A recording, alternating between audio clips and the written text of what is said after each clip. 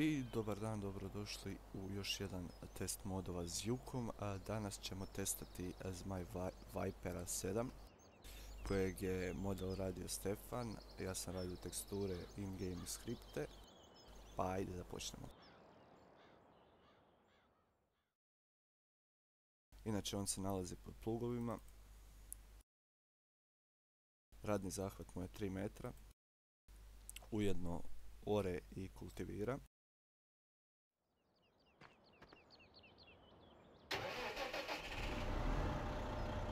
Naravno, vi možete regulirati što želite.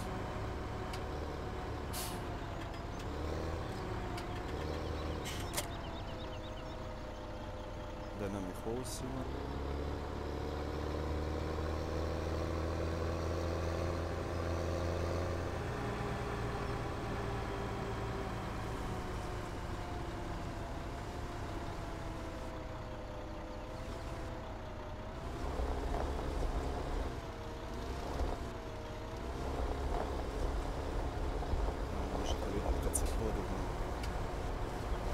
Valjci, onda kultiviraju i okreću se.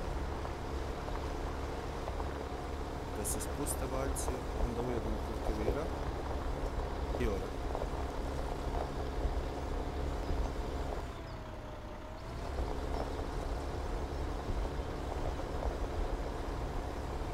Inače moći biti podijeljen. Link moda ćete naći u opisu videa.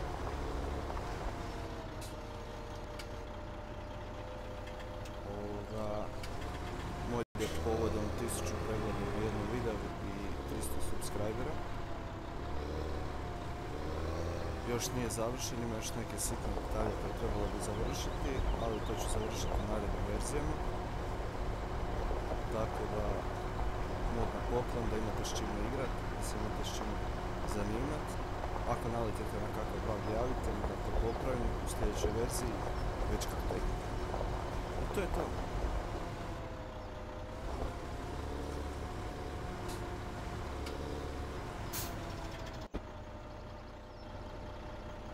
Nadam se da ćete uživati modu. Lijep pozdrav do sljedećeg videa. Ako imate kakve prijedloge za test drugih modova, napišite. Naravno, log moda je čist. Ovoga, ništa, do sljedećeg videa. Lijep pozdrav.